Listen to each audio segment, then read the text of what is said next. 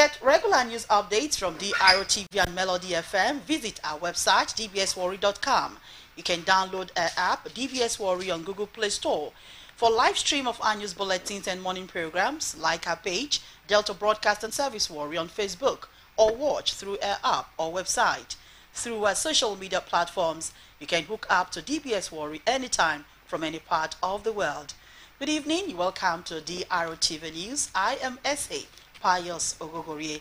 Apologies for bringing the news behind schedule. State government has opened a new magistrate court at Ofuoma.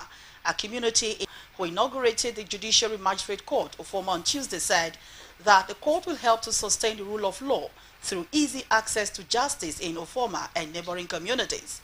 Correspondent Jules Nasieta reports that the Ovia Ughelli Kingdom Harris III, members of the bar and bench, the chairman, Delta State Health Contributory Commission, Dr. Isaac Akpoveta, the provost of College of Health Technology of Ofuoma, palace chiefs, elders of former community, among other notable personalities, witnessed the opening of the court. The report.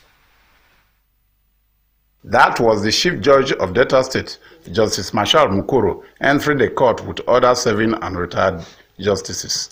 After the usual court procession, Justice Marshall Umukoro went into the business of the day by saying that the former magistrate court is not only to bring justice closer to the people who have been going to Agbarha, Oto, and other clans to seek justice, but also serve as an avenue to prevent recourse to self-help by aggrieved persons. The Delta State Chief Judge stated that with the opening of the magistrate court for Maugali, another opportunity has been opened to the members of the Nigerian Bar Association NBA to practice their trade as ministers in the Temple of Justice. Justice Mukoro, who implored the bar and bench to work harmoniously